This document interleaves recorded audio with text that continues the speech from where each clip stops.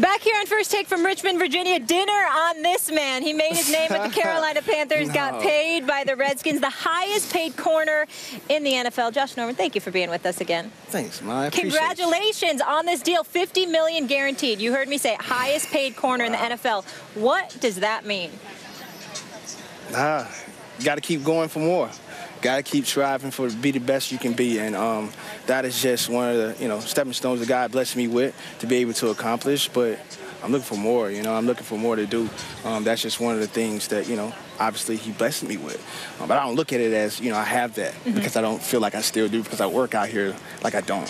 So we know you paid. You should be very, very happy about that. Uh, but we also know how much you loved Carolina, and uh, how has it been being here, and, and how long were you shaken up about being uh, about departing from Carolina?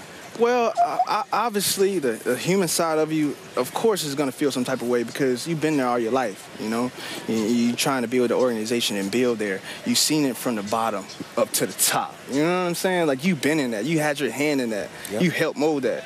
And when you're not in it, dang, it just feel like a, a big like like gut punch.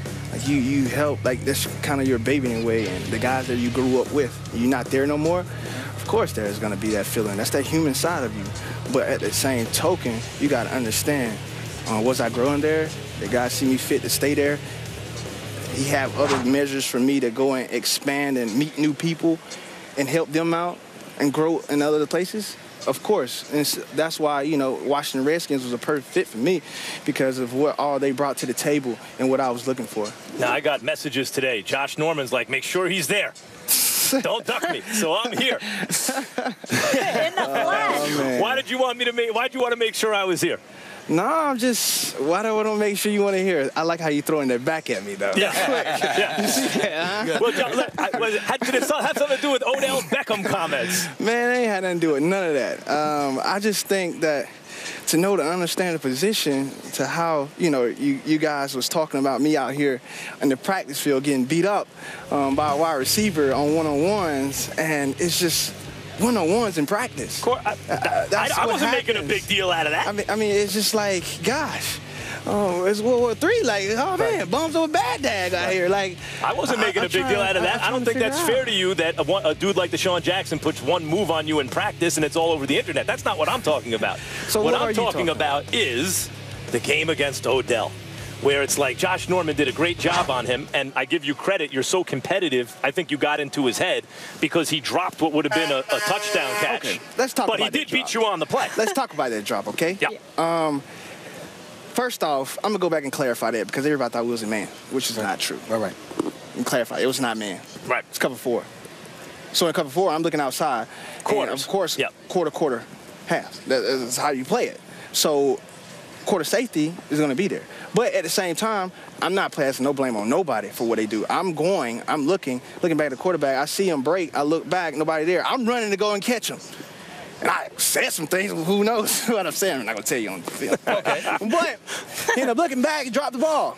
But at the same time, that's on him. That's not on what I've done or anything like that. But at the same time, go back and watch film and see what coverage we're in. So for you to say that and say we was man on that play from everybody seeing that and how, oh, he got beaten up, check it out. Watch the full thing. I look well, back, I'm up. running, right. speeding up. So it's not like we playing. Can you play man on Odell? Listen, you're in the NFC East at that position. What you've been paid to do now is ridiculous when you consider the receivers in the division. Can you play man defense in this day and age with these rules and these receivers in your division? Wow. Well, like I said, you probably have to go back and watch the film because um, that's what I've done when we played them last year.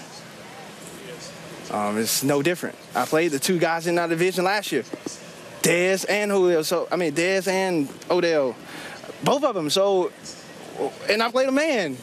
So it's like for me, try to figure out where's all this coming well, well, from. Well, let me tell you where it's coming from. Let me answer that because we're running out of time. Let me answer that.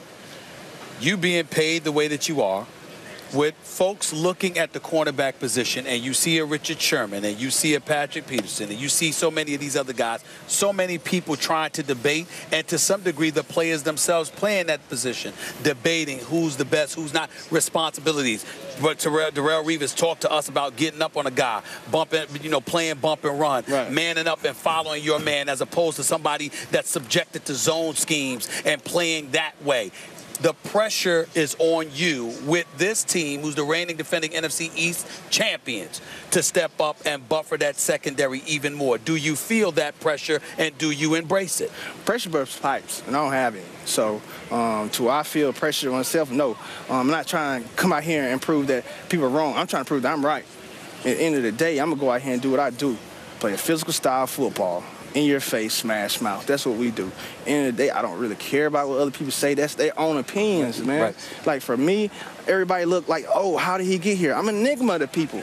You know, I'm an enigma, and people don't understand that. So they trying to figure it out. And at the end of the day, I'm gonna do what I gotta do for my teammates, and we're gonna be where we're gonna be at after all said and done because well, last question, where you gonna be at? Don't care. Last question, where you gonna be at? Well, shoot, Meaning man, we out here working, trying to get a ring. That's what we out here for. If you ain't out here doing that, then you failing. You just played with a team that went so, to the Super Bowl. You trying to say this team could go to the Super Bowl? I'm saying we working towards our goal. That's what I'm saying. Okay. And so you know where I am on you. I admire your competitiveness. I think it makes you an excellent player but I don't think it's possible in this day and age to man cover the, the elite receivers. Not even a knock on you. Even you know, anybody is going to man cover unless it's Deion Sanders. Right, these elite receivers. So, so if they don't catch 100 yards, if they don't have to go over 100 yards, then what that is?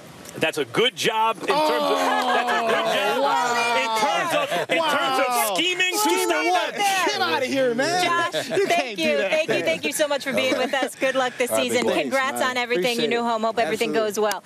When we come back, his teammate on defense there, I see him, DeAngelo Hall. Come on out, up to the hot seat right now. More from Redskins camp. Stay here. What's up, brother?